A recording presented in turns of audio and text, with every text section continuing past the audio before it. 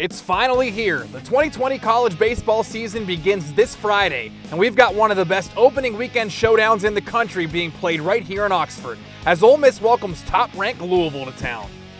After a regional championship in 2019, Ole Miss said goodbye to some familiar faces. But that doesn't mean the squad doesn't return a lot of talent who has helped the Red and Blue find success over the past few seasons.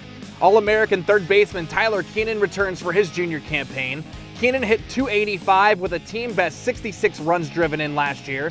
He's also developed a reputation for his power, as evidenced by his 24 career jacks. With Grae Kessinger drafted in the second round, veteran Anthony Servideo makes the move to shortstop after showing off his versatility in the first two seasons he spent with the Rebs. And the nation's second ranked recruiting class will fill in holes left behind by guys like Ryan Olenek, Thomas Dillard, Cooper Johnson, and Cole Zabowski. Some names to keep an eye on are Peyton Chatagnier, and Ealy, Hayden Leatherwood, Cade Sammons, Cael Baker, and Hayden Dunhurst, who will be behind the dish on opening day. The weekend rotation loses just one guy.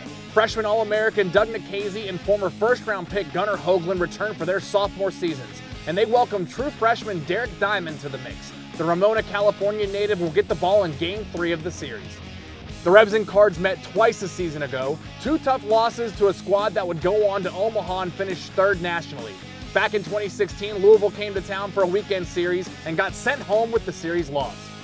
The Rebels have their sights set on hosting a third straight regional. That all begins Friday. You can watch all three games on the SEC Network Plus and follow along with updates on social media at Ole Miss BSB as well as online at OleMissSports.com.